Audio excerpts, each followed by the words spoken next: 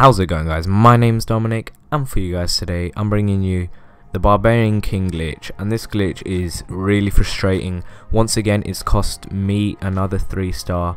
This is in a different clan, my second account here clan. But anyways it has cost me a 3 star in my opinion. But anyway so let's just take a look at the king. As you can see his range, this is the king's range. Maybe when he's standing up. No, it's this is just his range. If I click on the king doesn't come up with a separate range. This is the range he's allowed to enter. Fair enough if he exits it, but a tiny bit, like this much where my mouse is moving. But that is the range where he's meant to stay in.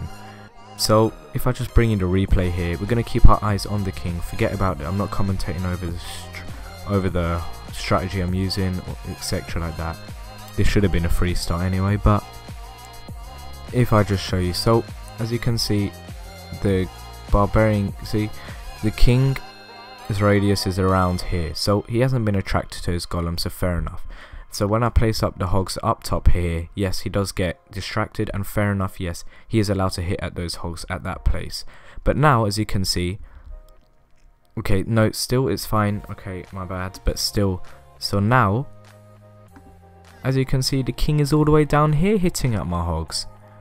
Like, his radius was some something like around here and now you're getting him all the way at the bottom of a base smashing at my hogs.